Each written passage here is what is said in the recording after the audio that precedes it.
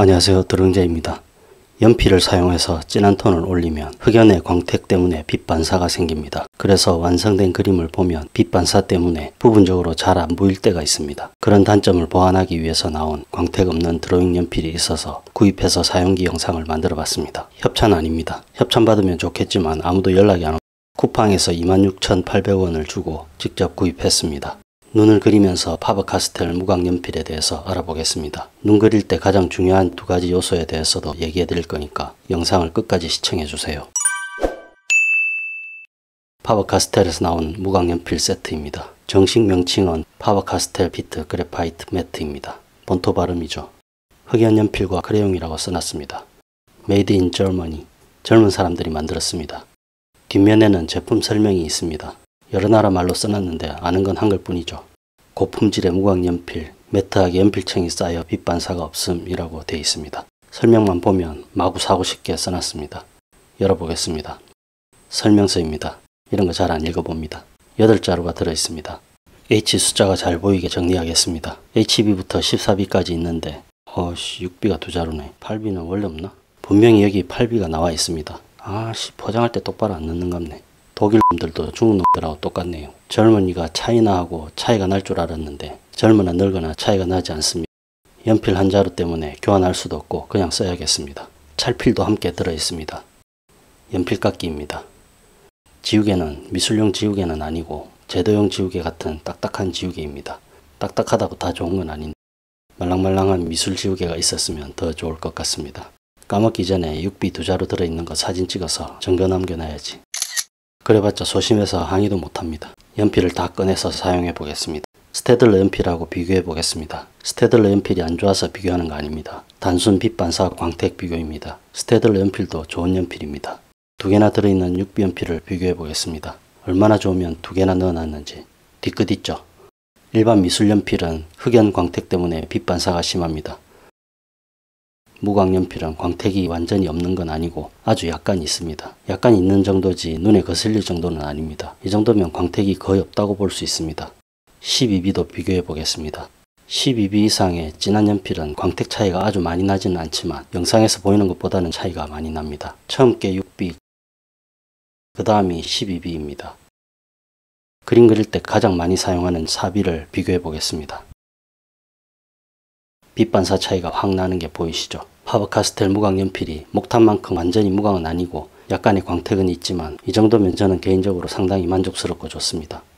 무광 매트 연필을 사용해서 눈을 한번 그려보겠습니다. 미술 연필로 머리카락 같은 어둡고 넓은 부분에 진한 톤을 올려서 그림을 그리면 빛 반사가 특히 심하게 생깁니다. 그럴 때는 매트 바니쉬를 발라서 마감하거나 무광 픽사티브를 사용하면 어느 정도 반사를 줄일 수는 있지만 근본적인 해결책은 아닙니다. 그림을 강한 톤으로 그려서 완성해 놓고 보면 빛 반사 때문에 그림이 잘 안 보여서 이리저리 시점을 옮겨가면서 그림을 봐야 됩니다. 그러면 졸라 짜증나죠. 특히 카메라로 촬영해서 사진으로 보면 그림 한쪽이 반 이상 날아가고 안 보일 때가 많습니다. 그래서 광택이 없는 콘테나 목탄으로 그리기도 하는데 콘테나 목탄으로 그리면 수정도 힘들고 무엇보다 찌꺼기가 많아서 가루 날리고 손에 묻고 장난 아닙니다. 호흡기 건강에도 그닥 좋지 않습니다. 저처럼 비염 있는 사람에게는 정말 안 좋습니다. 집에서 작업하기 힘든 재료입니다. 광택만 빼면 연필만한 좋은 재료가 없죠. 그런 의미에서 파버카스텔에서 매트 연필을 출시한 건 정말 환영할 만한 일입니다. 너무 칭찬하면 좀 그러니까 단점을 얘기해 보자면 일반 미술 연필에 비해서 가격이 조금 비싼 편입니다. 세트로 사도 그닥 저렴하지는 않은 것 같습니다. 세트로 구입하면 8B는 없고 6B가 두 개 올 수도 있습니다. 뒤끝 쩔죠?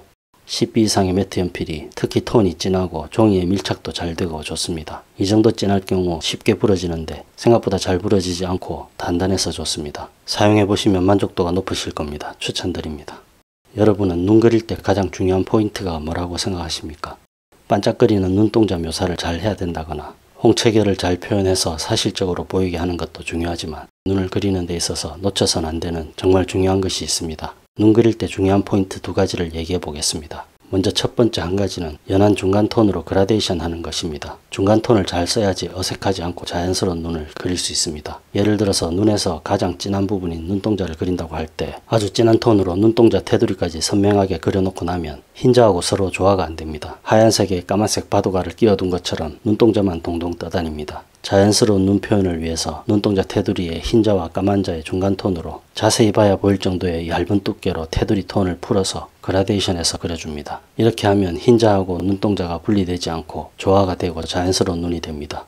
다른 예를 들면 마스카라에 속눈썹 펌을 한 눈을 그린다고 할 때 속눈썹하고 마스카라 라인이 무작정 진하고 선명하게 그리면 인형 눈처럼 됩니다. 반드시 중간 톤으로 테두리를 풀어줘야 됩니다. 중간 톤으로 그라데이션 하는 게 어려우면 찰피를 사용해서 문질러서 테두리를 풀어주면 간단하게 묘사할 수 있습니다. 두 번째는 눈의 전체적인 입체감 표현을 놓치지 않고 그려야 됩니다. 눈을 열심히 묘사하다 보면 정말 쉽게 놓치는 부분이 눈 전체의 입체감입니다. 눈이 입체적인 구조를 갖고 있다는 걸 알고는 있지만 디테일한 묘사를 하다 보면 눈동자나 속눈썹 같이 눈에 띄는 부분만 열심히 딥다 묘사해서 전체적인 입체감을 놓치는 경우가 정말 많습니다. 눈은 구 모양의 눈알을 눈꺼풀이 덮고 있는 구조입니다. 이 사실을 계속 인지하면서 눈의 전체적인 입체감을 해치지 않게 묘사해야 됩니다. 다른 부분 묘사에 치우쳐서 입체감을 놓치면 눈을 정말 예쁘게 잘 그렸다고 생각했는데 완성한 그림을 보면 어딘가 눈이 이상해 보일 때가 있습니다. 그럴 때 입체감을 놓쳐서 그런 경우가 대부분입니다. 뭐 그렇다고 눈알 입체감 살린다고 툭눈 붕어처럼 눈깔이 톡 튀나오게 그리시라는 건 아닙니다.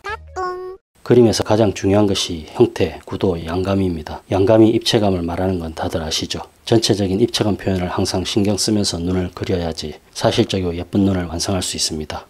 지금까지 파버카스텔 무광연필을 소개하고 무광연필을 사용해서 눈을 그리면서 눈 그릴 때 중요한 요소에 대해서 알아봤습니다. 오늘 영상이 마음에 드셨으면 구독, 좋아요, 전체 알림 설정 부탁드립니다. 감사합니다.